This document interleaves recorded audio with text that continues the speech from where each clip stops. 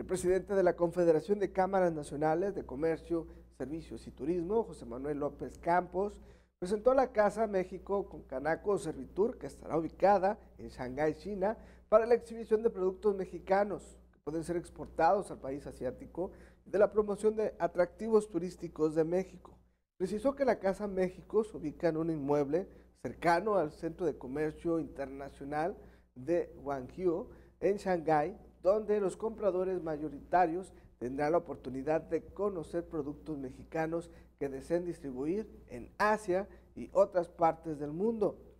Manuel López puntualizó que a pesar de la disparidad en el tamaño de las economías de ambas naciones, el sector empresarial observa el mercado de, China más oportunidades de amenazas que deben ser aprovechadas.